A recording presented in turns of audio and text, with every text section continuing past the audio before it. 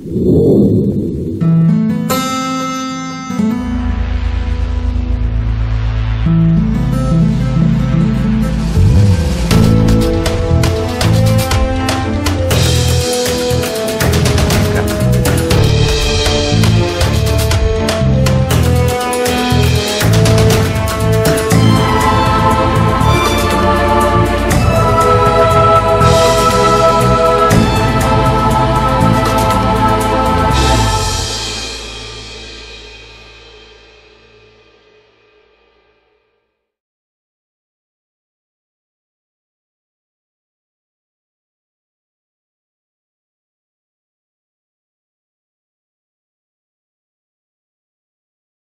那这一讲我们，呃，讲的主题叫电车难题。呃，这个主题 是大家应该是说是非常的熟悉的一个主题。那这个熟悉是得益于，呃，二零零九年，我们知道在哈佛大学一个著名的，呃，呃，被称为是社群主义的代表人物，叫桑德尔。呃，他在哈佛的公开课，就是关于公正课后面上线。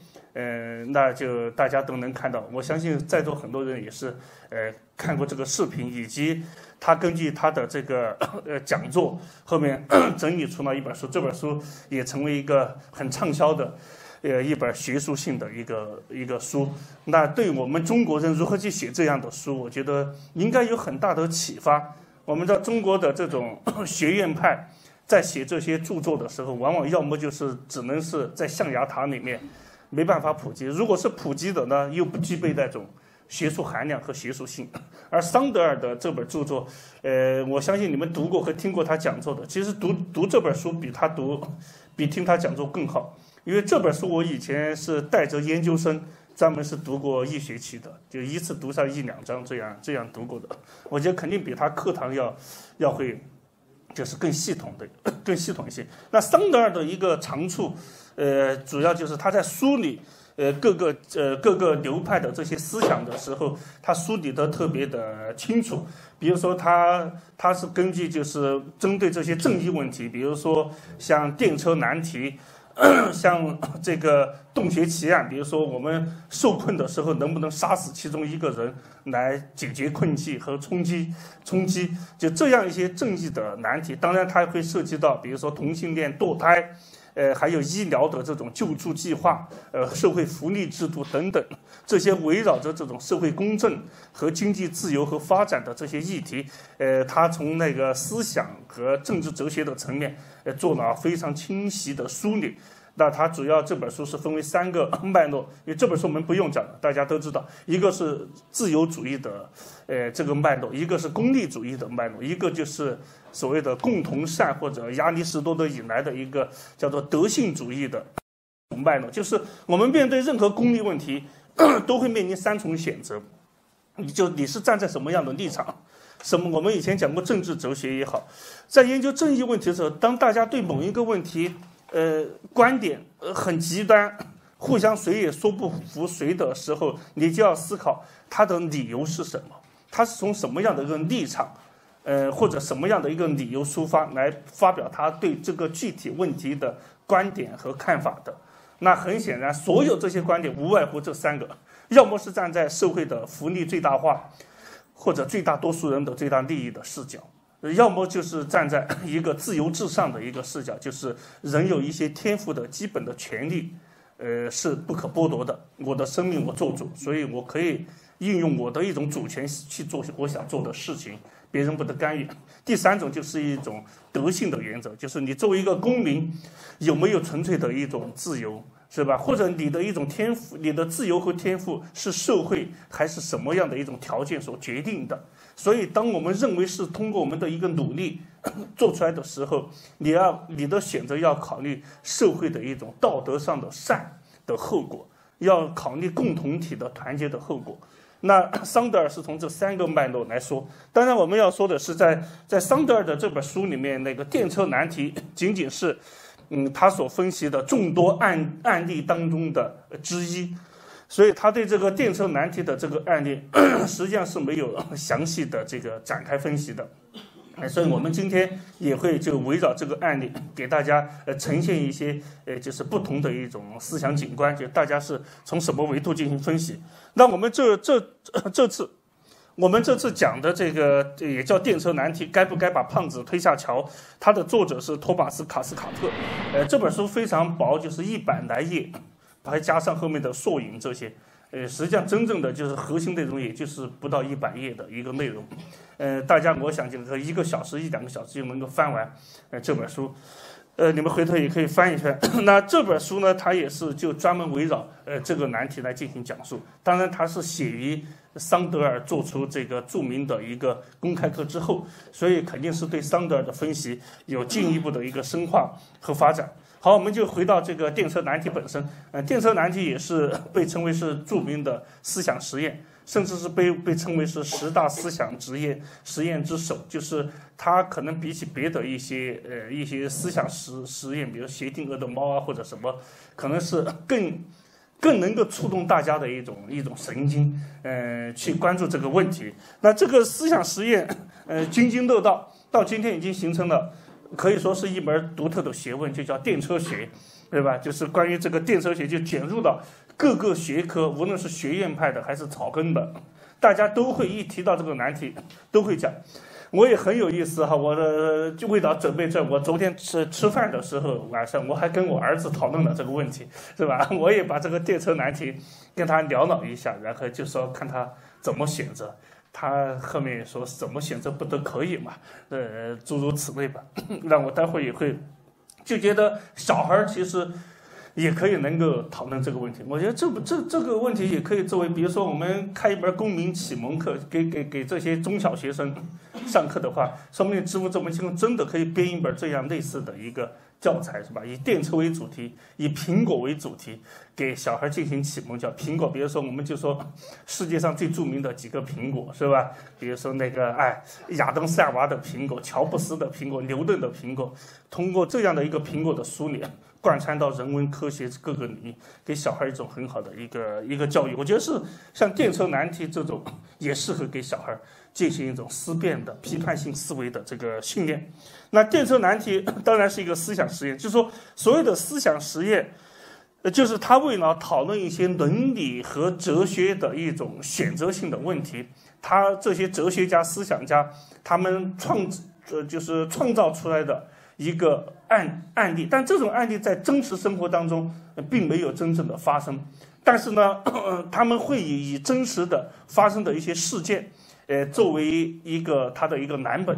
那最著名的就是另外一本书，也是我以前给学生讲过，也我经常也推荐那本书，叫《洞穴奇案》，它也是根据一个真实的一个案例。改编的就是一八八几年，在英国曾经发生一个海难，海难以后就是大家就把其中一个十七岁的最虚弱的人叫帕克，后面包括少年派的奇幻漂流，就是根据这些故事不断的演绎出来的，那就说把最虚弱的一个人杀了充饥。最后呢，他们 被救助以后，这些活下来的人就面临着审判。这是在英国历史上发生的一个真实的个案。后面呢，在二十世纪的四十年代，美国哈佛大学的一个著名的法哲学教授叫富勒，他就根据这个案例就虚拟了一个案子，叫洞穴里面。他说这些几个探险队员到洞穴里面去，结果呢塌方，然后呢 就六个人陷在里面，他们剩下几个就通过抽签的方式把其中一个人就杀了。然后后面要判死刑，围绕这个案例，大家就写了十五份不同的判决书。那这本书就是第十五十五份判决书的不同的显现，也很值得读。不同的判决书就是一种不同的立场，但是大的脉络也超不过。呃，就是桑德尔所归纳的，就是 功利主义的进入，呃，社群主义的进入和这个自由主义的这个这个进度。那洞穴 这个电车难题也是一样，他是在一九六七年一个叫帕尼菲福特他所发表的一篇文章。那他这篇文章是解决那个堕胎问题，我们待会也会涉及到，就是其实堕胎问题也涉及到 一个正义的选择，就当一个一一个妇女。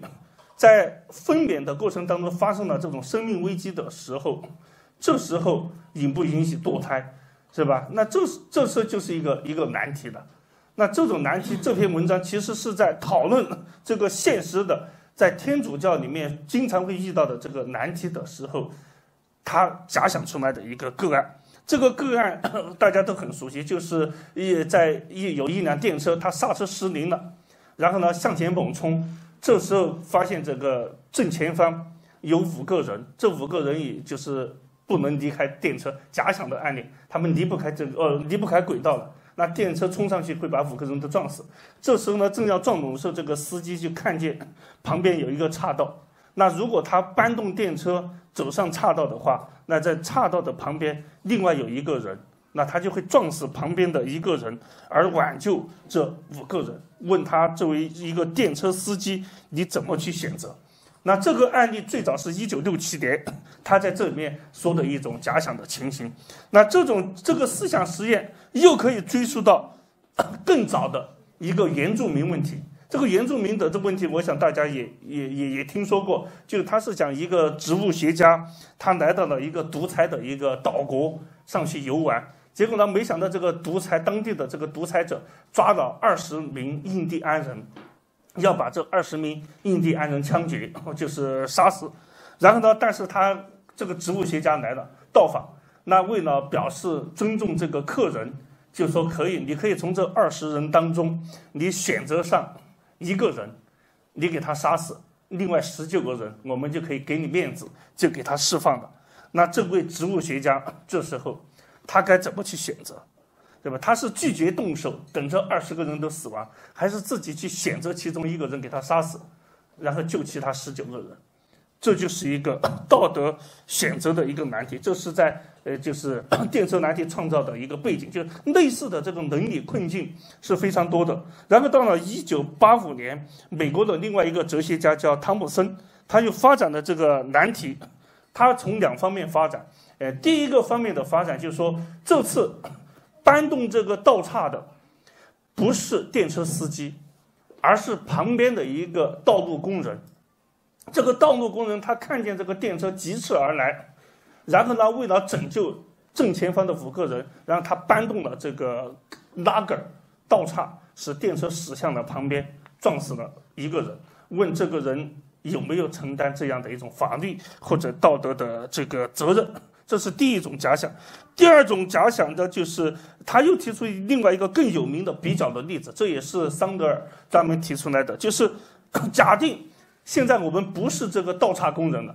我们假定这时候你是在一个天桥上，你在一个天桥上看到一个电车疾驰而来，正前方有五个人，这时候没有倒叉，那这时候呢，你就突然怎么去阻止这个疾驰的电车撞死这五个人？你突然发现你的旁边有一个胖子，对吧？如果你把这个胖子推下去，他的这个重量刚好可以阻挡住电车，那这时候你愿不愿意把旁边这个胖子给他推下桥去？去拯救这五个人，呃，这是一个 推人的一个实验。那整体上后面有各种各样的一种呃一种演绎。那这本书也是以这个故事为核心，虚拟的另外一个案例，它就是虚拟的，就是说在二零一三年，在美国一个女的，嗯旁人叫琼斯，她也是搬动一个道岔，避免了五个人的死亡，而导致其中一个人死亡，然后被颁颁颁发见义勇为奖。但是最后大陪审团审判的时候，又认为琼斯 是有罪的，然后就围绕这样的一个个案，然后进行了一个一个讨论。呃，这是又一个演绎。大家看这些不同的案例哈，我们因为待会要运用另外一种推理，叫做类比推理，就是看这些案件之间它的一种共同点和它的一个差异，呃，到底在哪里？这是一个案例，就是你站在这个天桥上，把一个人推下去。然后还有另外一个假想的案例，这也是桑德尔专门提到的，就是他说，假定 现在这五个人被撞伤了，然后送到了这个医院，他们每个人的一个重要的器官都坏了，就是心脏、肝、肺、胰腺还有肾，每五个人都需要移植，这时候怎么办？你突然发现，在旁边有一个留院治留院治疗的一个人，身体已经恢复了。活蹦乱跳的，这时候你可以趁他睡着的时候，你作为医生，你可以把他身上的五个器官分别取出来，然后安在这不同的五个人身上，拯救这五个人的一个生命。那这时候你作为一个医生，你愿不愿意干这样的事情。呃，所有这些案例，大家看过公开课都知道的，那都会进行一个表决。那我们在这现场，我们就不用表决了。我因为他有这个实验，我就不用这样进行。那基本表决的一个结果就是，大部分人就百分之八十八以上的都会选择第一种情况下，呃，认为电车司机甚至这个扳道工，他是可以 把这个电车调整轨道的，呃，牺牲一个人撞死五个人。但是在第三种和第四种情形，就是一个是在天桥上。把这个胖子推下去，还有就是在医院里面杀死一个人，呃，拯救五个人，呃，基本只有有有人支持，但是他说只有百分之十一左右的人会支持这样的一个呃一种做法，一种做法，呃，这就是我们要说的这个关于针对同样的一个案例的一种不同的一个选择。那针对这种不同的一个选择呢，呃，就有不同的一种思考和答案。这个答案主要我还是先简要说说刚才桑德尔介绍的几种原则。第一种是功率最大化的原则，功率最大化原则是由边沁所提出来的，后面密尔呃进行了一个发展。那边沁提出来的最大化原则，他就说快乐和痛苦是主宰人类的一种道德选择的一个两大主人。我们所有的一个行为选择，都是要么是就是为了追求快乐和避免痛苦。是吧？这才是实现一个功利最大化。所以，功利主义的选择就是要实现，呃，最大多数人的一个最大幸福。只要我们的一个选择能够达到最大多数人的一个最大幸福的一个结果，都可以进行这样的选择。所以说，为了挽救五个人，我们可以杀死呃其中的一个人。但是在这种情况之下，很多人认为你这样的一种假想的一个个案，其实是。有一点点问题，就是他还不够极端。为什么还不够极端？就是为什么大部分人没有任何道德障碍的，他都会选择杀死一个人，拯救五个人。尤其是当你是一个电车司机的情况之下，我们刚才已经说过了，如果你是纯粹只是一个功利最大化的选择，但是为什么在司你作为司机，你作为扳道工，你作为一个旁观者，天桥上的一个旁观者，你作为一个医生？为什么大家同样的一种社会福利最大化，大家的一个 赞同或者支持的数量是有这么大的差别？就说明这个福利最大化，其实你不能解决一些关于道德方面的一些呃一些根本的一个问题。就大家会在 某些层面，他会止步，他就觉得纯粹是追求牺牲一人拯救多数是很难的。你比如说。如果发生一场战争，你说牺牲少数拯救多数，如果这样的一个少数和多数之间的一个数量差别很小，你怎么办？比如说在这个案件当中，如果是叫你牺牲四个人拯救五个人，我们假如有九个人，都有可能被电车撞死，那叫你牺牲一个人拯救八个人，你觉得可以？牺牲两个人拯救七个人也可以，但是让你牺牲四个人拯救五个人的时候，这时候你心里面。会有所会有所犹豫，但是另外一种情形，我们是不是说，如果牺牲一个人拯救一座城市，可不可以？这又是一个围绕这个的一个道德难题。我今天就会围绕这个核心案例，举各种各样的不同的一个情形，哎，供大家去思考。你比如说有一个真实的一个个案，我们到今天讲座的最结尾，我还要回应这个问题，就是有一部小说，它就是想在一个城市里面。这个城邦里面，大家都过着特别的美好、幸福的生活，人民也特别的和睦相处，道德风尚也很高。但是，所有的这些市民都心照不宣的有一个公开的秘密。这个公开的秘密就是在这个城市中心的一座地下室里面，有一个儿童。这个儿童肮脏的生活在阴暗潮湿的这个地下室里面，用一个铁链子给他拴着。过着人不如狗的一个生活，但是这些城市的市民都知道，我们整个城市的幸福，都是由于 这个儿童被关在地下室。如果有一天有个市民说：“哎呀，这个是不是对他太残忍？我们干脆给他救出来，给他怎么这个洗洗干净，然后让他过一种非常体面的生活的话。”但是如果让把这个儿童解救出来，这座城市就会恢复到以前的。混乱的、糟糕的一个状态，那这时候是一种选择。我们愿不愿意为一个无辜的 一个儿童的一个牺牲，来唤起整座城市的一个幸福和美满？愿不愿意？这是一个 一个选择。这个选择，我现在 都不告诉大家明确的答案。那我现在只是想说，这个功利主义的一种选择，它会有一些问题，它很难去考虑。这个很难的考虑，包括后面大家所说的，不仅是数量的呃一个问题，还有一个问题就是，它只是把人的一个价值观给它平面化，他没有考虑人与人不同的。比如说，有些人就反对这个实验，就说如果。被撞死的这个人，如果是一个总统，或者如果被撞死的这个人是你的亲人，你会怎么选择？这时候你一定会认为，这一个亲人的价值是大于那五个陌生人的这个价值的。那你愿不愿意牺牲这一个人来拯救那五个人？当然，还有一些人假想的一些，我觉得就是有点过于超越案例本身的一个情形，就是我们在讨论这些案例的时候，要要注重有一种法学思维，就是就事论事的思维，你也不能过于发挥。甚至有人在批判这个实验的时候，就说，那假如你撞死的这个你拯救的五个人，如果都是坏人，然后呢，你这个撞死的这一个人是一个雷锋式的好人，你会怎么去选择？但如果是这样的，这种选择其实是有点 像滑坡理论一样的，它它是已经违反了就事论事的原则了，完全是一种想象，是吧？为什么这样讲？如果他按照这种逻辑的话，医生也都不用去救病治病救人了，是吧？因为你你治的每一个人都有可能在他病好以后，他可能成为一个强盗、杀人犯，但是你不能因为他会成为一个强盗、杀人犯，你作为医生的一个职责，你不去拯救他。是吧？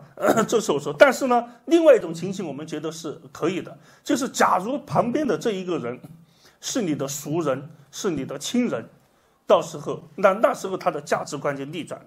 同样是人的一种生命，是吧？这是我们要说的，就是生命它有时候是有价的，尤其是在制定这个社会公共政策的时候，往往都是要为这种生命进行定价。就像我们说发生这个交通事故的时候。以前中国法学界也有一个争论，就是 同命不同价嘛，对吧？城市里面的一个撞死赔偿的金额和农村里面撞死的赔偿金额可能是几倍于农村，大家觉得很不公平，是吧？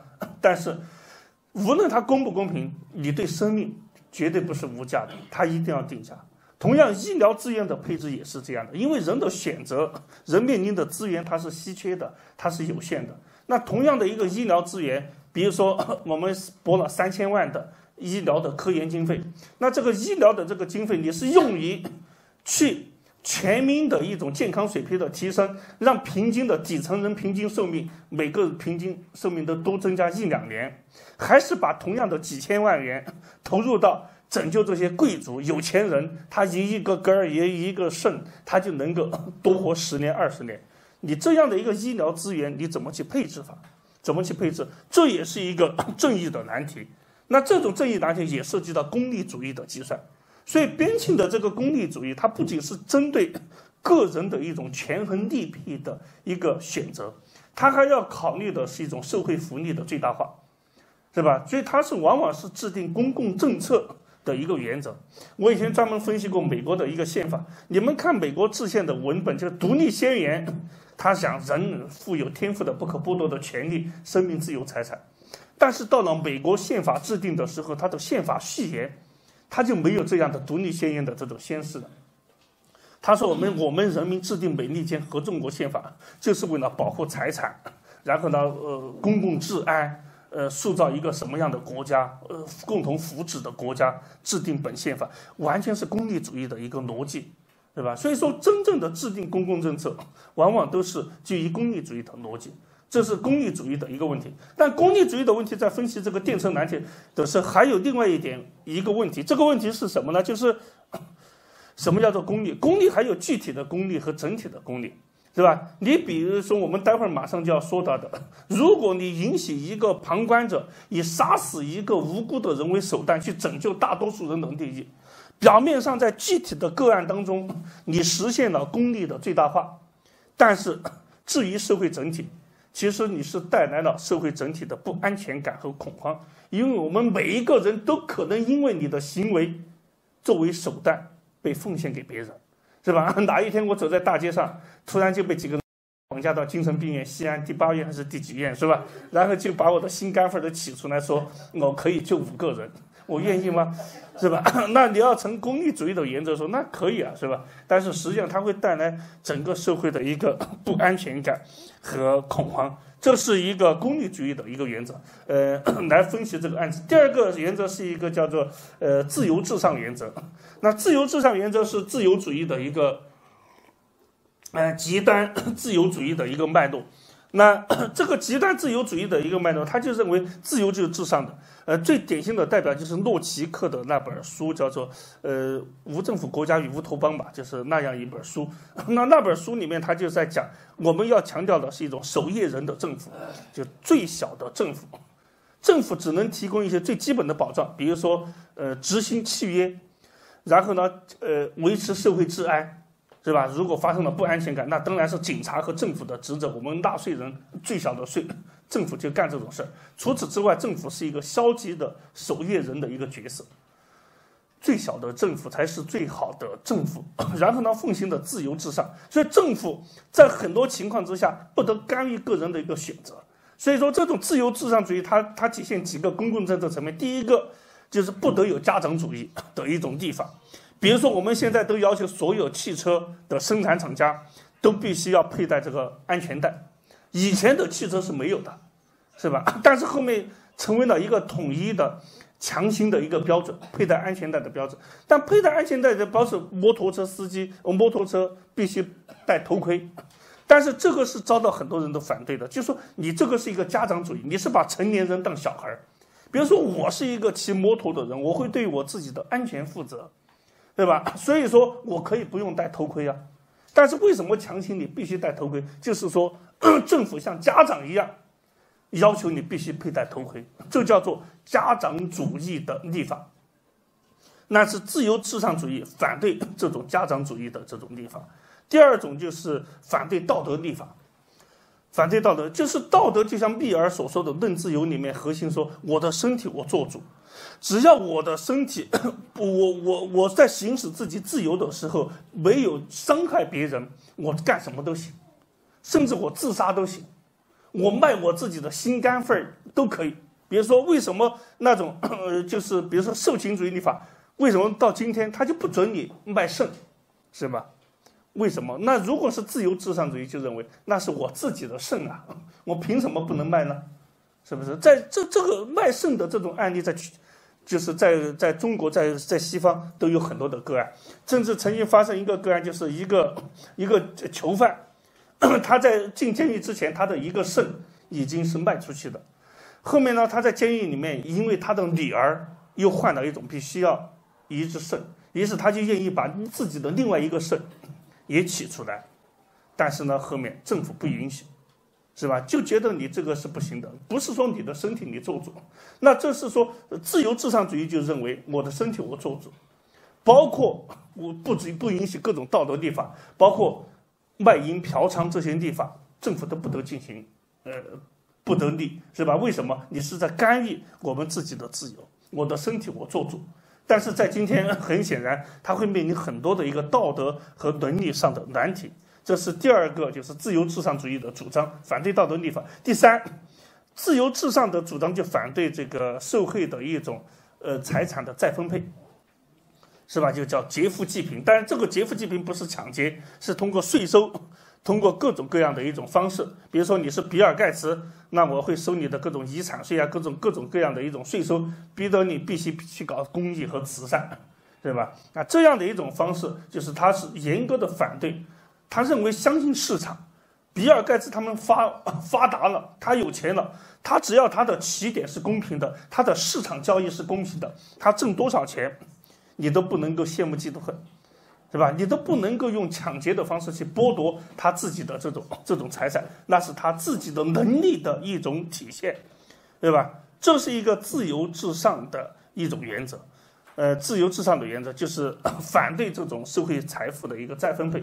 那整体上，这种自由至上的一种原则，都是强调捍卫个人自主性，就是捍卫呢，就是我的权利，我的身体我做主，就是在我的这种身体里面，我想怎么用，就是唯一不经过我自己的允许，没有人有资格剥夺我的权利和自由，包括生命，生命当然是权利里面的一个最高级别。那在电车难题里面，他就是这样的，他就是认为，如果你不经我的允许，就把我自己的生命作为一种手段，牺牲给别人，去拯救大多数人的利益是不允许的，在任何情况下都不允许以牺牲我自己的生命为手段去拯救别人。人是目的，不是手段。所以这个自由至上主义，它的一个鼻祖是谁？就是康德，对吧？康德这个人简直是太伟大了。那我们知道，康德里面他提出的一个自由原则，就是一个自由意志的原则，就是人是一个理性的一种存在。这种理性的存在，就是人不能受外在的一种欲望或者自然规律的支支配，那是他律。人在这之外，人有超脱于道德层面的一种自主性的选择。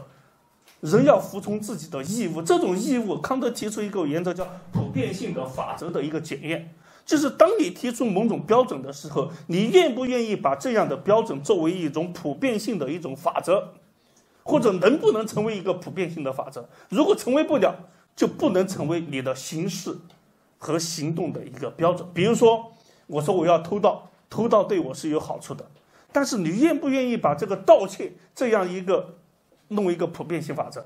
你如果弄一个普遍法则，就意味着人人都可以偷盗。你可以偷盗别人的，别人也可以偷盗你的。当别人偷到你的东西的时候，你愿不愿意？是吧？所以康德就说，你如果经不起这样的一种检验，那你这个行为就要禁止。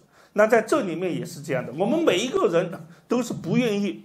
我们可以大公无私，可以在适当的时候去救助别人，但是我们不能是以牺牲自己的生命为手段去救助别人。对吧？所以康德这个人是特别的有意思的，他也是基于这种自由至上的一种原则，就是自由是一种伦理上的一种义务，就我要做正确之事，我要对自己的内心负责，所以我不做坏事，我所以我要自我约束自己，重要的是做正确之事的自由，自由不是你可以为所欲为，如果你为所欲为说我想吃喝嫖赌什么都可以。想杀烧杀抢掠都可以，那不叫自由，那你是成为了一种你的本能和欲望的一种奴隶。哎，康德是这么一种一种东西，所以康德他有时候特别的好玩，他甚至在这个意义他反对反对自杀。他为什么反对自杀？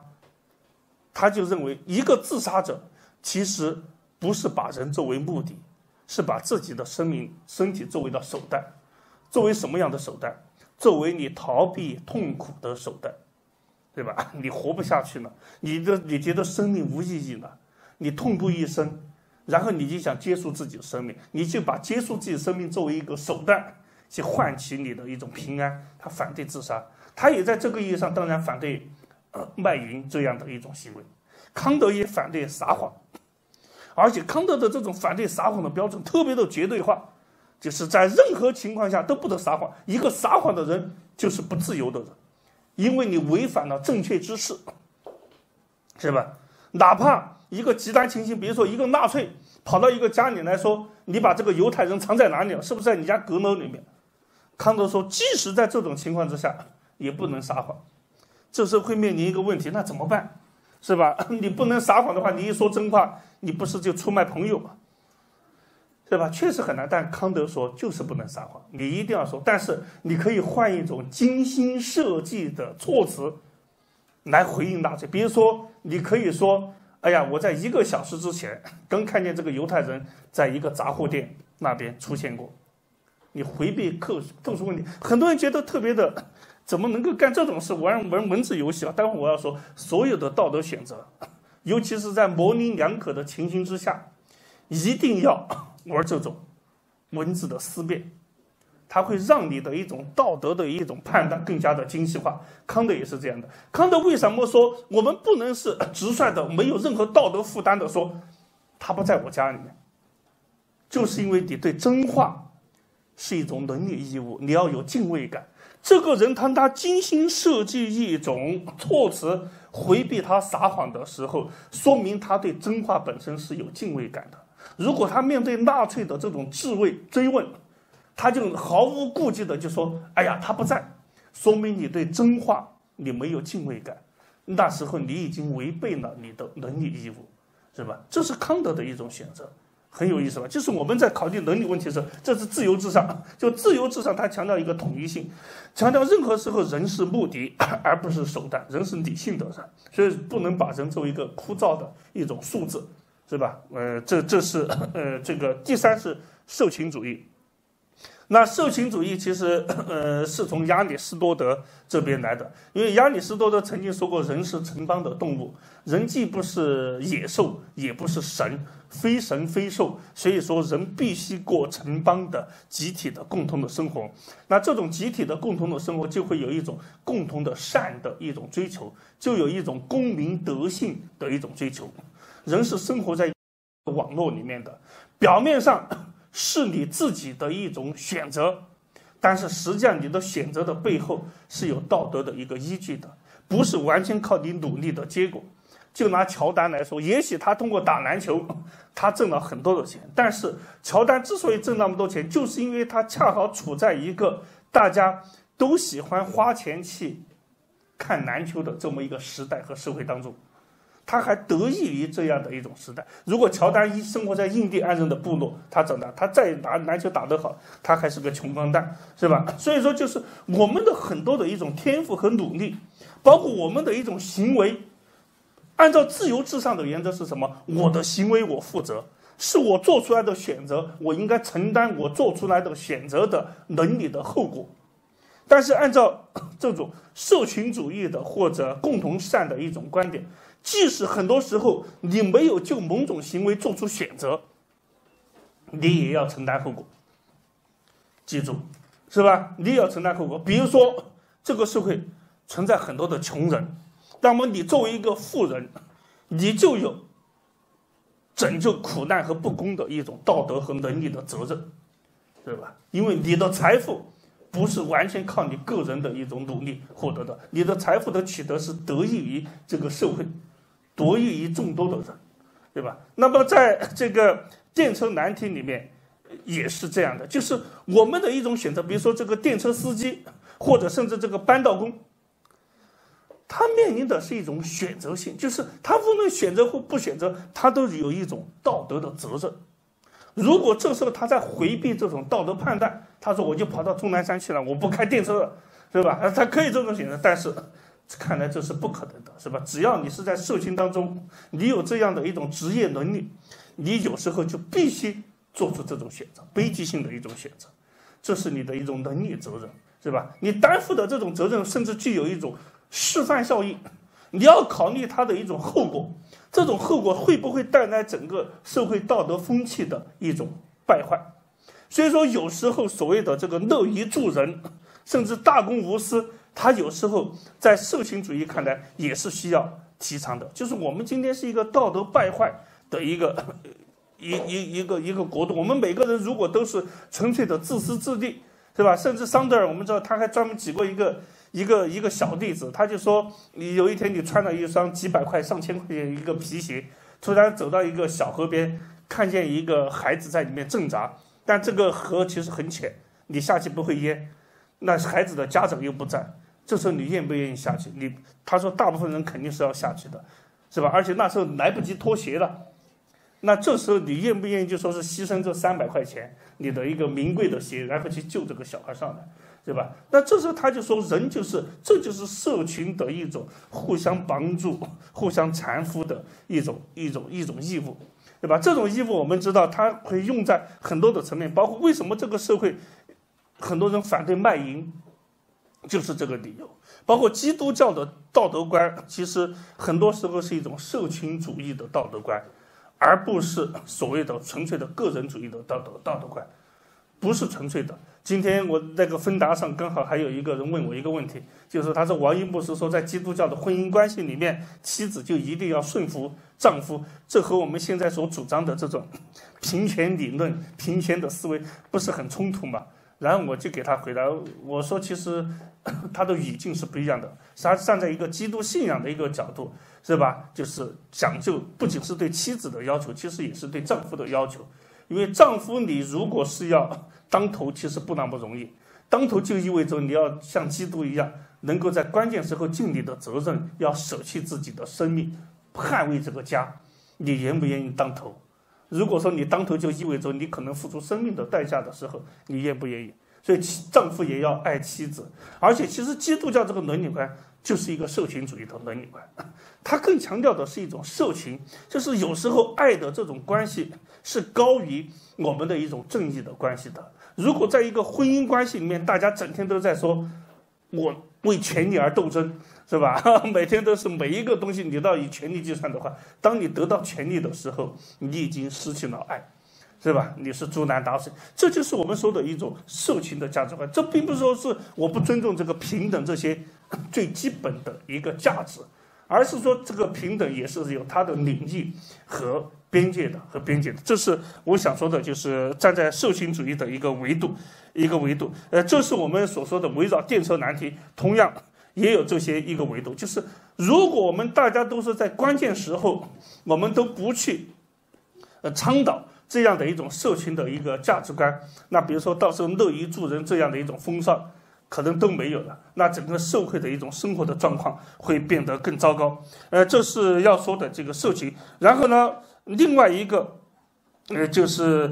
呃，还有一种思考，就是我我想说的，就是心理学家的一个思考。那么我们刚才所说的，基本上是一种，呃，不同的一个脉络，不同的道德哲学能够引导自己的一个行为。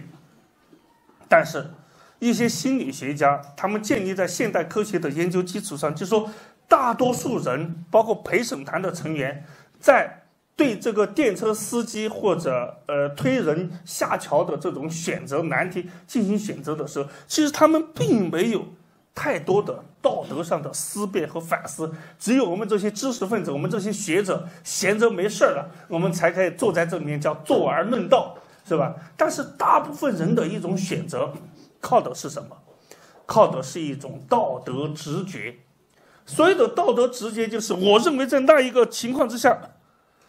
我觉得他就是错的，他就违反了我的道德直觉，所以说基于这种道德直觉，百分之八十将近九十的人才会认为，这个电车司机扳道撞死一人的行为是情有可原的，也是基于这种道德直觉，所以所以大部分人才会认为你把一个无辜者从桥上推下去，是令人厌恶的这么一种行为。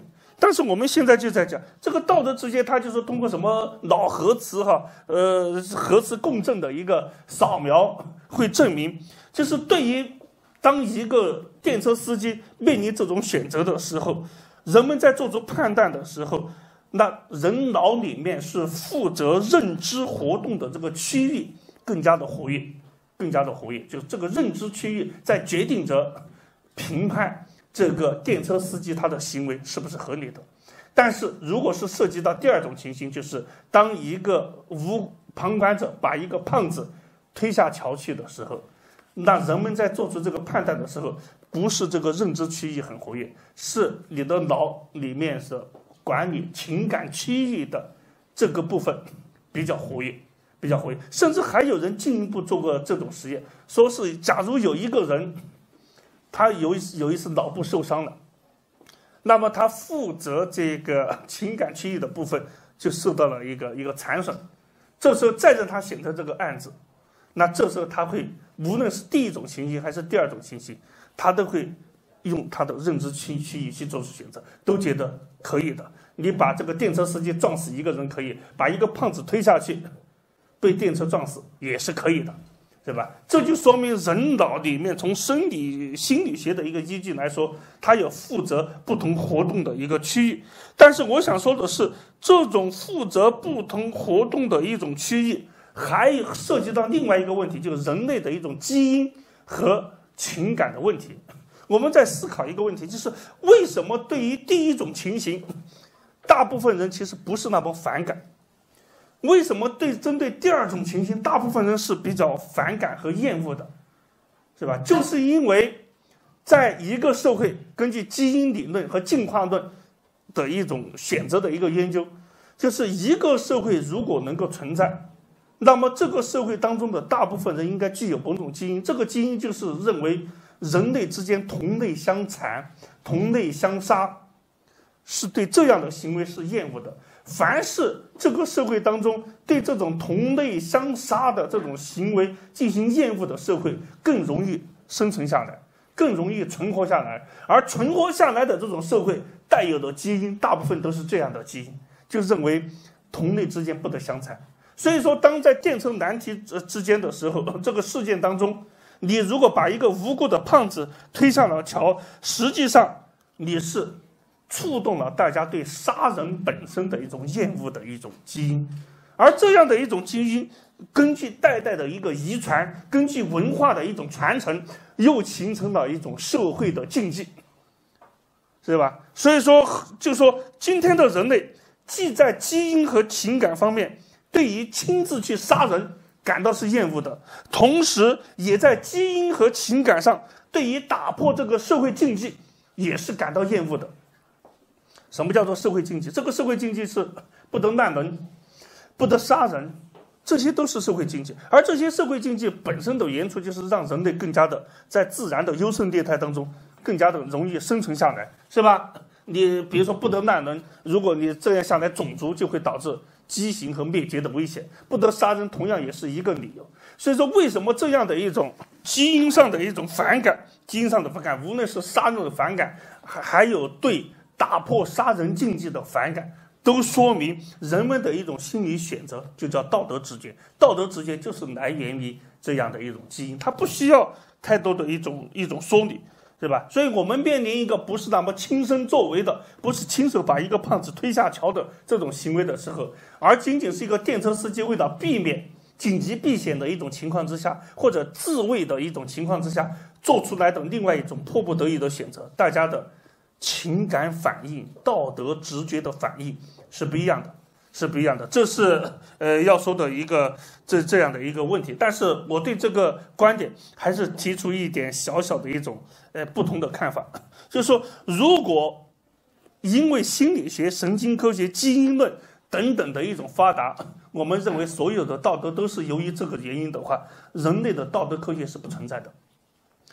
康德的核心观点就是这样。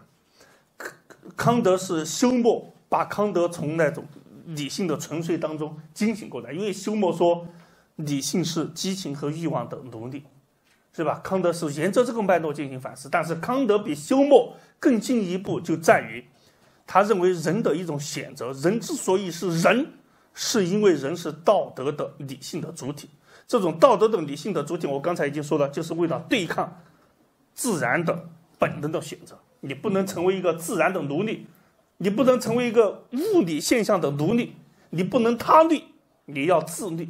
自律就是遵循你内心的崇高的道德法则，做出你认为是正确的选择。但是什么是正确？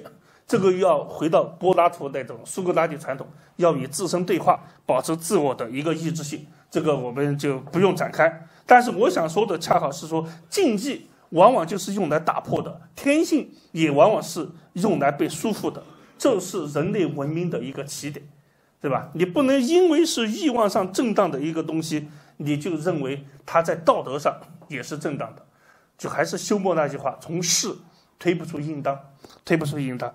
呃，所以在这种情况之下，我们就可以从三个呃从几个层面也做出了一个思考。下面我想从神学的一个角度。对于电车难题，呃，做出一个思考，这也是这本书里面，呃，他呃重点专门讲的一个问题。那这个神学里面的一个对电车难题的思考，也是桑德尔，呃，他没有注意到的，就是它是来源于托马斯阿奎那。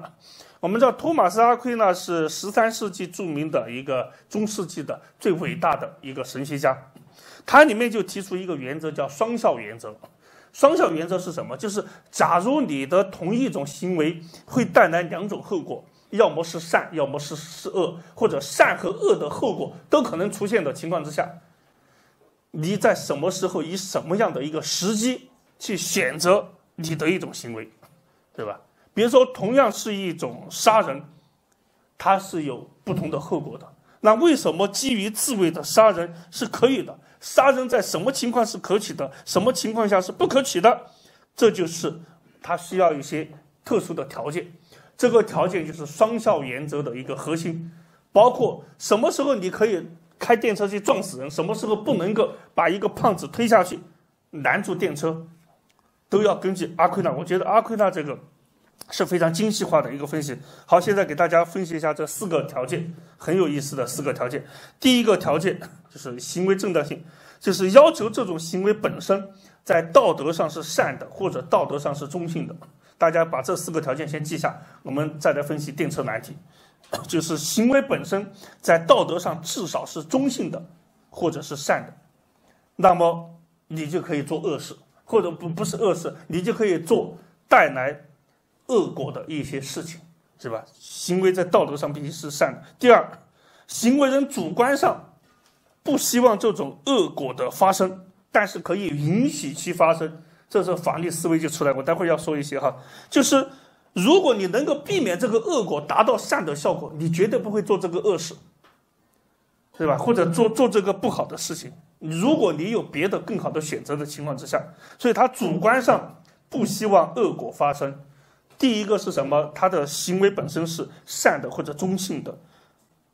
第三个条件是最重要的条件，就是你的这种善的后果与你的行为之间是一种直接的关系。换言之，你不是想通过做一种恶事达到善的后果，你不能把你所做的恶事作为实现善的后果的手段，不能把自己的恶事作为达到善的后果的手段。对吧？就是这个意思。第四，这种善果是可取的，是因为它可以弥补恶果之恶。这个第四点很好理解。比如说，你牺牲一个人，拯救了五个人，是吧？就是你善和恶权衡，恶是小的，善是大的，这个没问题。现在最纠结的是第三点，第三点就是你不能以恶为手段、为工具来达到善的效果，这是永远都不能允许的。我们来分析几个案例。第一个是电车难题。电车难题就是，比如说你是一个电车司机，这时候发现前方有五个人，然后你就赶快就转向转道，那你的这种转道本身、转轨本身的这种行为，在道德上至少是中性的，是吧？因为你转轨本身仅仅是为了避免撞死这五个人，情急之下，而且你仅仅是转轨。至于说后面是第二点要说的，就是你的行为本身，不是说我想杀死谁。是中性的，至少是中性的。第二点，你主观上并不希望杀死旁边的这一个人。记住，这是法学思维。如果受过法律训练的，就会好理解。就是你仅仅是预见到你的行为可能导致这一个人的死亡，但是你主观上并不希望这一个人死亡。这个微妙的语词的差别哈，你比如说你这个电车转轨了，你为了避免这五个人死亡，但转轨的后果，你肯定不是我就要故意杀死这个人，你仅仅是预见到我这个转轨的后果会导致这个人的死亡，但是你主观上并不希望这一个人死亡，这是符合第二个条件，第三个条件。是这有点，其实一举例子就很好理解的一个条件了，就是你搬动这个道岔的一种行为，是吧？这种行为的这种结果，就你搬动道岔这个行为是一个善的行为，或者是中性的行为，正是这种行为导致了一种善的结果，避免了那五个人的死亡，而不是你以杀死旁边这个人为手段来实现。那五个人的一个生命的一个救赎，不是这个意思。就是换言之，你搬动道岔的行为，你并没有以牺牲这一个人为手段来达到旁边那五个人被救的一个后果。就是你是先是搬动了道岔，那五个人已经救了，在几秒钟之后，这一个人才死亡。我们如果要理解这第三个条件，就是打这个时间差，就是。你这个善的，你这个恶果是发生在你所要救助的对象的之前还是之后？如果你死亡的后果发生在被救助的对象之前，那你就是以这个人的死亡为手段去拯救那五个人；如果你死亡的后果是发生在那五个人救助之后，就是你一搬叫倒插，那五个人已经被救了，但是呢，几秒钟之后这个人死亡，那说明你并没有以这个人的死亡为手段去救那五个人。这是条件三，没问题吧？是吧？现在理解了。条件四，条件四好理解，就是你是，呃，失去一个人，但是你拯救了四个人，至少你的这种恶果是小于他的这个善果的，善果的。然后我们再来看医生的行为，看医生的行为就很好理解。我们再来分析，这是阿奎那的观点，双效原则，就同样一种行为会达到恶和善同时两种效果，什么时候可以选择这种行为？我们来看这个医生，他为了拯救五个人，把这个一个人杀死，把他的心肝肺取出来，去救这五个人，看这符不符合第一个条件？第一个条件是什么？你不能行为本身是恶的，是吧？但是你杀死一个无辜者的行为本身就不是善的，你把这个人已经身上的器官一取了嘛，是吧？这个行为本身。绝对就是恶的嘛！你不像搬电车，你仅仅是为了电车改道。第二个，就是你主观上是故意的，是吧？哪怕你是说我仅仅是取他的器官，但但是你完全知道取这个致命的器官，它肯定是导致他死亡，是吧？所以条件二也不符合，你主观上有恶果，呃，有恶的一种动机，有恶的动机。第三个，条件三是关键，条件三是关键。就是这个关键是什么呢？就是他是一个被人评价为是天才的一种智慧设计。就阿奎那这个人简直是太天才了。为什么呢？有人会辩护，有人说我也符合条件一和条件二啊。比如说条件一，我仅仅是摘出他的器官啊，是吧？但是我不能说相比杀人来说，你不能说我是一种恶的一种行为，是吧？我仅仅是摘出他器官，同时我也没有希望他死亡啊。是吧？死亡只不过是我摘除他器官的附带的效果，就是他如果对方辩论就说我也符合条件一和条件二，我没有做恶行，同时符合这个什么呢？就是我主观上也没有恶意，对不对？但是符合条件三，这个条件三是什么意思呢？就说是你的善果与你的行为本身的关系是直接的关系。直接的关系，那这种直接的关系就是说，你不是通过一个人的死亡这种恶果来拯救另外一个人的生命的，而医生摘除器官的行为，他事实上他一摘除器官以后，这个人先死，死了以后，然后呢几分钟以后，他才把这个器官移植到别人的身上。记住，这个无辜者的死亡是在所要救助人的活下来之前的。就是几分钟、几秒钟的一个差别，所以说，如果他的死亡是发生在之前，就说明医生是以恶的手段摘取器官并导致死亡来达到善的目的，这是永远都不能允允许的。大家现在理解这个意思了吗？是吧？就是这个意思。算条件是不用说了哈，条件是基本都符合。好，我们下面再来看，呃，这个天主教里面的一个辩论，让我们知道阿圭那。阿奎那他在讲这个这个原则的时候，我们知道是在中世纪，就包括到现在，围绕着是否能够堕胎的一个辩论。那么我们都知道，基督教尤其是天主教，他是反对堕胎的。他认为堕胎你等于是通过杀死一个无辜的一个婴儿来拯救母亲的一个生命。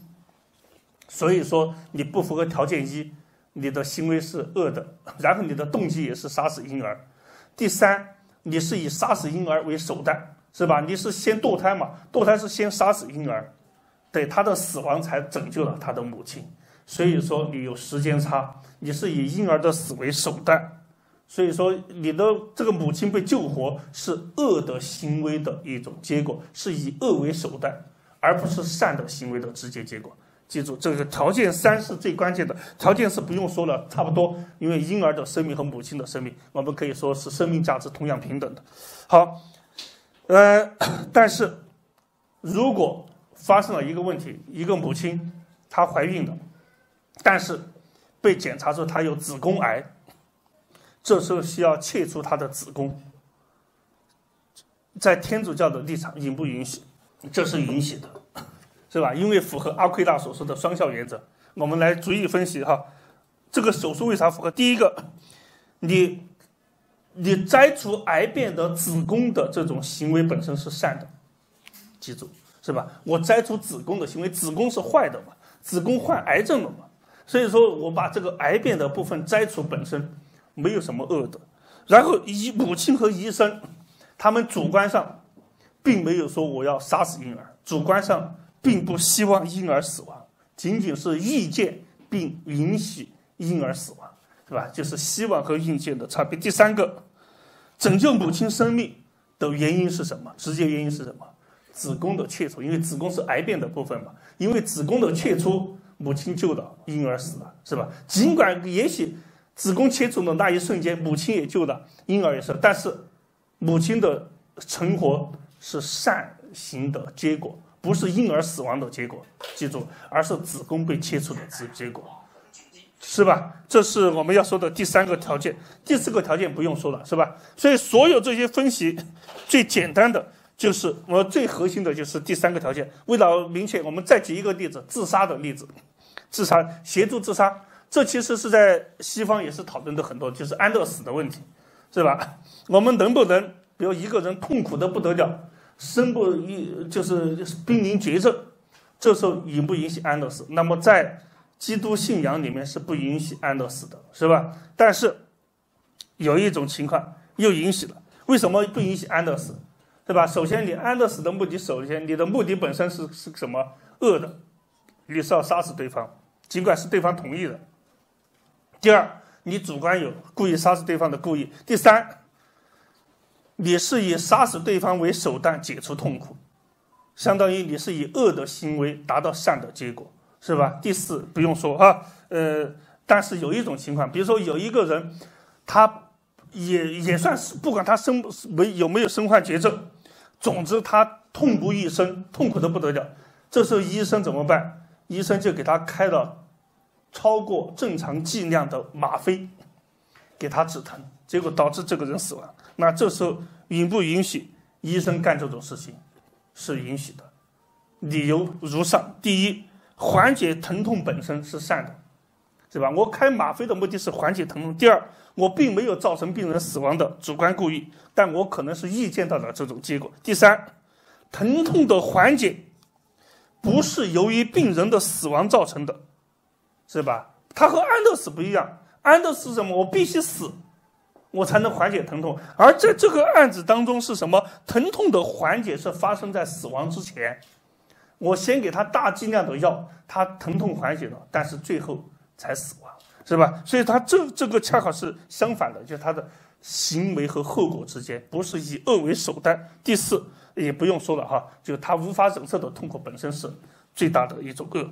那我们很多人会说，可能同样是我刚才所说的，很多人在讨论这些道德问题的时候，都会批评。你看中世纪怎么如此的咬文嚼字啊，是吧？弄得，但是咬文嚼字是必要的。我记得我们以前包括讲讲哲学，我也回应过松野，专门说过中世纪那个情况。中世纪曾经，当时的一般的人，教会法学家什么都在辩论一个问题：一根针尖上可以站立。多少个天使？我有为这样的问题啊，大家辩论的不可开交。而且你到街上去买菜的时候，你到八里村去买菜，农贸市场买菜，这个卖菜的这些农妇会告诉你：你告诉我一个针尖上站几个天使。如果你解释都让他不满意，他就不给你卖菜。在中世纪发生这样的事情，这是真实发生的，是吧？那时候的学术风气风气是盛的，是吧？所有人都在讨论。我们今天看来不就是鸡毛蒜皮吗？无关紧要吗？玩文字游戏、咬文嚼字吗？但是这个问题对于他们来说就是至关重要的，因为它涉及到一个新、最根本的一个哲学或神学问题：天使是一种灵的存在，还是一种物的存在？是有形的还是无形的？这是他们神学辩论的一个对他们来说是一个核心问题、重要的问题，是吧？就是说，一个问题是否重要，就看它赋予。在那样的处境当中的人的意义到底是什么？到底是什么？是吧？这是我们要说的这个咬文嚼字。那这种要确定任何道德规则和法律规则，咬文嚼字都是在所难免的。我们现在再来说一个，有些人说在处理这个电车难题的时候，还可以用另外一个依据，叫做黄金律。黄金律是一个神学上的一个律例，就是你愿意。别人怎么待你，你就怎么去待别人。记住啊，这个黄金律它和己所不欲，勿施于人有有，其实是有很大的差别的。是吧？己所不欲，勿不欲，勿施于人，是一种消极的一种态度，是吧？我不做，你也别来侵犯我。但是己所欲施于人，就是你愿意别人怎么待你，你也要去怎么去待别人。所以，其实康德的那个普遍性的一种法则，也是从这里面推演出来的。但是，黄金利率在这里面，它会梦面临一个问题，也是被康德修正的一个问题。这不是神学上的错误，而是说应用在道德实践当中的一个问题。黄金利率会有走向相对化，因为你站在不同的立场，你会对黄金利率有不同的要求。比如说，假如我是一个见义勇为者，按照我的黄金利率，那我就希望我今后见义勇为也不会被讹诈，也不会被承担刑事责任。所以我就觉得，那这个电车司机在那种情况之下，他撞死一个人应该是可以的。己所欲施于人，我愿意，我成为一个见义勇为者，我愿意别人怎么待我，我也愿意怎么待人。但是，假如你是那个被拯救的五个人，你在运用黄金力的时候，你肯定也会站在你的立场，说可以。但是，如果你是站在这个无辜被牺牲的这个人的一个视角。你就会说，我愿意别人怎么待我，我也愿意怎么待人。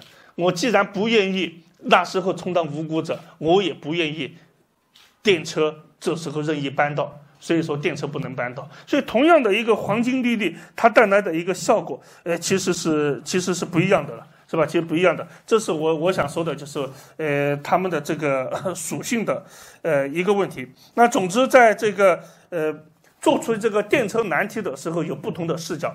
我们刚才给大家举的，比如说我说了，从一开始，功利主义的视角、自由主义的视角、呃，受刑主义的视角、呃，神学的视角，包括心理学的、道德直觉的，呃，一个视角。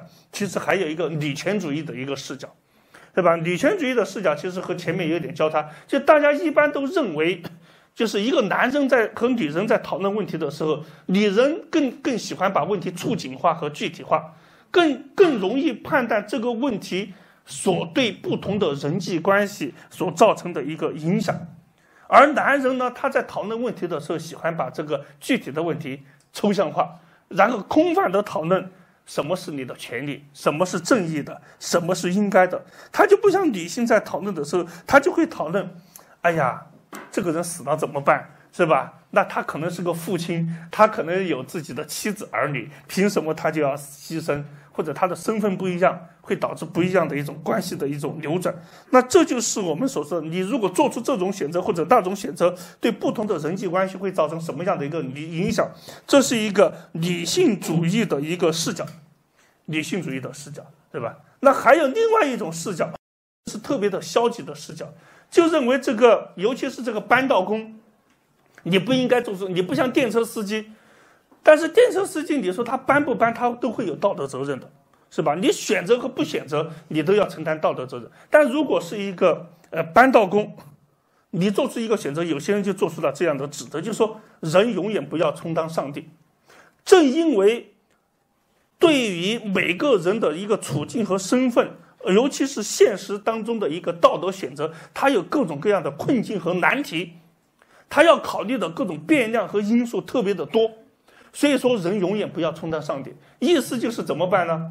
这时候我们就说，对于这个琼斯或者这个这个，我我说的不是电车司机了，我说的是一个搬道工，他搬动这个道岔的行为。我也不是说把人推下桥的这种行为，就他无论怎么选择，都是可以的，都是情有可原的。他选择搬道，你不要指责他；他选择不搬道，你也不应该去指责他，是吧？因为这时候他不愿意充当一个上帝的一个角色，甚至有人对这个案例，他又做了心理的心理层的一个假想。他说，有时候人不愿意牺牲自己的亲人，但有时候人愿意牺牲自己。比如说，假定，假定这个电车的这个旁边是五个人，然后这边是一个人，但这个人是你自己。你被人捆在了这个轨道上，然后你的脚一伸就可以把这个道岔一搬。这时候你看见电车来了，你会怎么选择？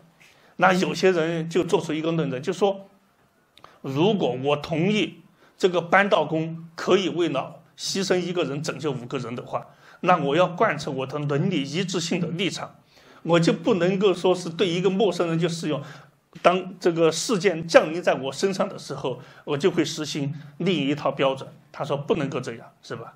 所以说那时候我也应该，记住是应该把这个倒叉搬过来，让电车向我自己转过来，是吧？为了共产主义事业向我开炮，就是这样的一种。就这是我们曾经是弘扬的，是吧？但是我想说的是什么呢？就是说 你这样的一种选择，其实你如果是一个自愿的一种选择。在我看来是无可厚非的，但你不能是一个国家层面的一种一种提倡，就是说他因为你捆在这个人，无论是你还是别人，你没有这样的一种道德责任，对吧？没有这样的道德责任，就意味着你怎么样的一个选择，其实都是可以的，是吧？但是你如何向自己交代，那是另外一个问题，那是另外一个问题。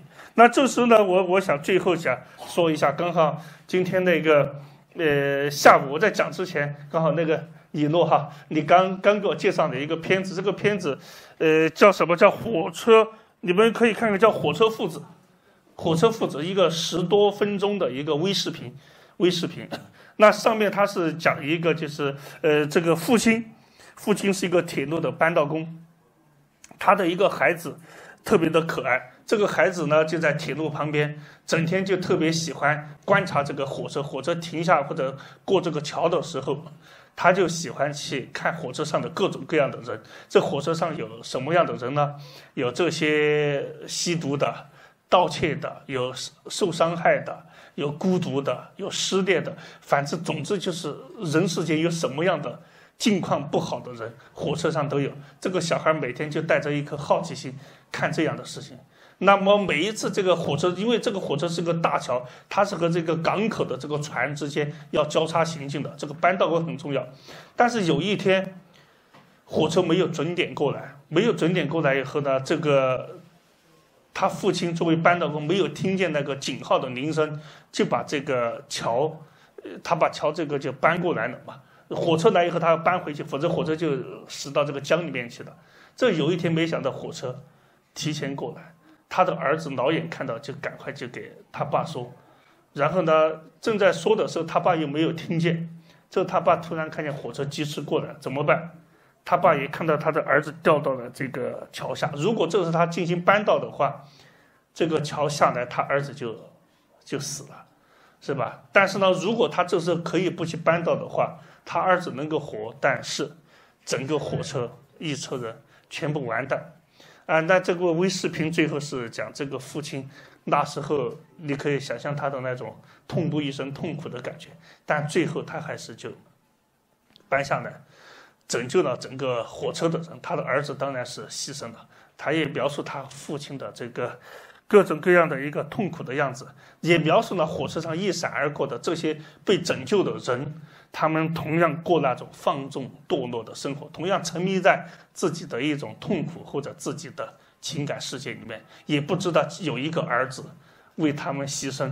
那这个视频我不说，大家都记住，肯定是有宗教意味的了，是吧？他是回应的是，就是耶稣，上帝的儿子，让他为人牺牲在十字架上去救赎的这么一个故事。但是用这样的一种，我相信这个导演一定是看过这个。电车难题的哈，那么他为啥拍这部片子？我想也是基于他看到了那么多的一个讨论，他想对这个主题，呃，做一个不一样的一种一种升华。就说在人世间，我们在处理很多正义问题的时候，会有特别多的这个难题。那这种正义的问题需要对话，那道德的一种反思和对话是永远是必要的。就像我今天我们讨论了那么久，其实没有给大家一个答案。到底谁做的是正确的？你如果在那样的情境之下，你会选择做什么样的行动？但是道德的反思、对话，一种对营建公共道德的一种努力，永远是非常必要的。就像我再再举一个例子，这个道德的困境，就像呃，在美国九幺幺之后发生的一个困境。就假如有一天你突然抓住了一个恐怖嫌疑犯。而且你你知道这个恐怖嫌疑犯，他们正在策划一场恐怖袭击，在这个城市的一些地方安装了定时炸弹，然后我们抓住这个嫌疑犯了，你应不应该对他刑讯逼供？是吧？你如果不对他刑讯逼供的话，那整个城市危在旦夕，是吧？你就找不到他们这个定时炸弹埋在哪，什么时候爆炸。但是你要刑讯逼供，会违反一个道德准则，至少违反自由至上的原则。你不能牺牲别人的一种自由和权利，是吧？包括司法准则不得刑讯逼供。那么很多时候，大家出于一种，我记住我要说道德直觉，出于一种道德直觉，在那样的一种危在旦夕情况之下，我想哪怕一般人都觉得刑讯逼供有它的重要性、必要性，因为他是一个怀疑的人，而且他直接危及到了我们的一个基本的安全。是吧？但是你的一个前提是什么？你已经认定的他是恐怖分子，是吧？现在我们再假定一个情况，你也知道他就埋葬了炸弹，而且但是你怎么打，他就是不说，怎么办？你这是把一个恐怖分子的无辜的女儿抓过来，然后要凌辱他的女儿，让恐怖分子招供，这时候你干不干这种事情？是吧？我们就说道德的一种选择，它会不不断的附加各种各样的一种条件情况，就像我们刚才说电车难题一样。如果你仅只是把人看成没有生命的一个枯燥的数字，你当然可以坦然的说牺牲一拯救五。但是如果这个被牺牲的一个人，他本身他的社会贡献，他对这个国家贡献，如果比他五个人大，或者是你的亲人，你愿不愿意这种选择？同样，这个恐怖袭击也是这样的。你怎么去刑讯逼供？这样说并不是意味着我们不不对刑讯逼供本身在这种特殊情形之下的正当性进行思考，但是我们可以以这个案例来附加各种各样的情形，来增加我们的一个选择的难度，然后来去考验我们的一些道德的直觉。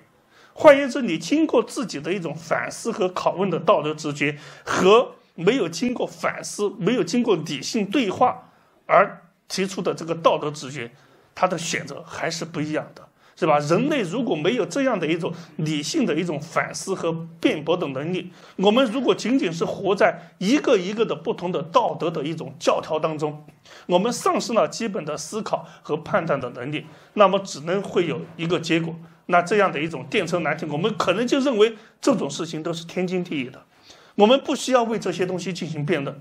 就像我刚才讲那个道德直觉的时候。你会发现，包括一个社会的一个文明程度进步与否，就看它的禁忌多不多。如果它的禁忌多了，什么问题都不准你讨论，就有点麻烦。尽管我们反对那种男权主义式的、不考虑具体处境的，就纯粹为辩论、辩论的不可拆、为辩论而辩论的那么一种方式，但是我们还是要想，这样的辩论其实有它的一个必要性。如果你仅仅是靠一种，道德直觉的一种一种支配，我就觉得，哎，我所有的选择都是正确的，都是毋庸置疑的。那很显然，你最后就是你的一个选择，也许都是一个比较糟糕的选择，或者就是你在不断的重复你曾经犯下的这些所谓的一些错误或者难题，或者你没有从我们所经历的这些困境和灾难当中，我们其实没有吸取。有益的这样的经验和教训，那我想说的是，这样的一种辩论，其实它永远是必要的，它是开放的，它给我们提供了不同的一种选择和辩驳的一种可能性，让我们明白我们认为是天经地义的东西，也许是错误的。就像我刚才又在提到这个道德境界，你会发现，同样是情感和认知领域的不同的差别，围绕一个事件，如果纯粹是出于情感。我们说，既然是出于情感的道德之，什么问题我都不用跟你辩论了，我这样做就行了。但是正因为我们人类还有一个认知的区域，所以我们对于很多选择，我们才要辩论嘛。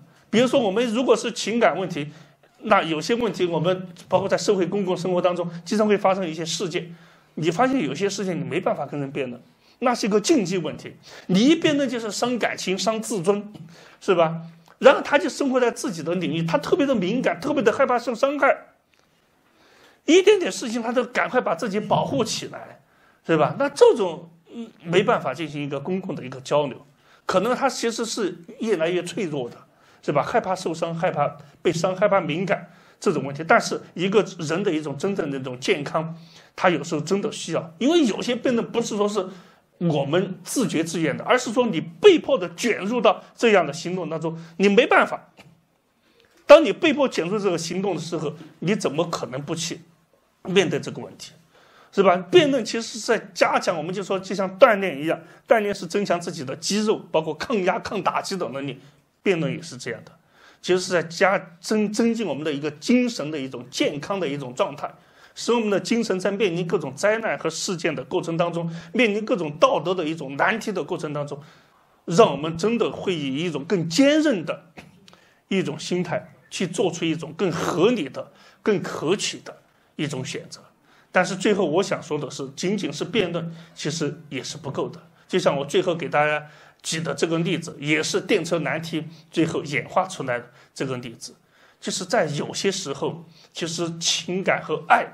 它可能是超越于我们的一种所谓的正义和权利的一种选择的，对吧？这就是社群主义和自由主义的一个争论，就是到底是权利优先于善，还是善优先于权利？我们在进行选择的时候，你仅仅是考虑于个体的一种自由的一种得失，还是要考虑超越自身利益之外，有一些共同善的一种追求？而爱的核心是什么？爱的核心是什么？就是舍己。你为了爱对方，你愿意舍弃自己，你愿意降卑为奴，但这个降卑为奴不是你的尊严怎么样，而是你愿意服务对方，愿意为对方进行付出。其实有时候正义的选择也是需要这样的。当然，我们不能强迫别人去做出选择，但是我们看到有人为我们这个社会的一个正义和美好做出这样的一种自我牺牲的这种选择的时候。我们又应该持以什么样的一种心态？我想，这可能也是检验我们的一种道德能力，检验人类的一种道德心智发达与否、成熟与否的一个重要的一个指标。这也是我们经常说，我们这样，我们知无知一直在读古典，在读唐诗，在读柏拉图，呃，包括那个李涛兄，他也昨天我们读唐诗，他也在感叹，他说，其实我们。回到我们，我们真的是越越活越回去了。他是回去的是倒退的意思。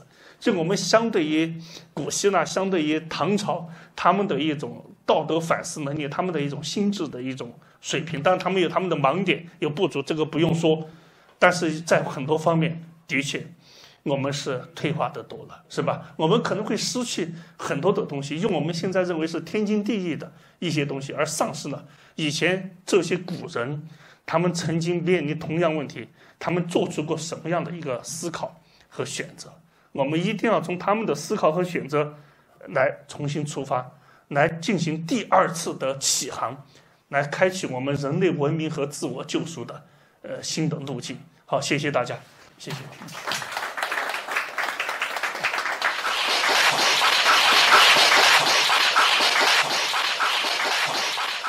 还有一比九种邪派是，他是反对人，包括一些享乐主义，他是反对人的生命是有目的的。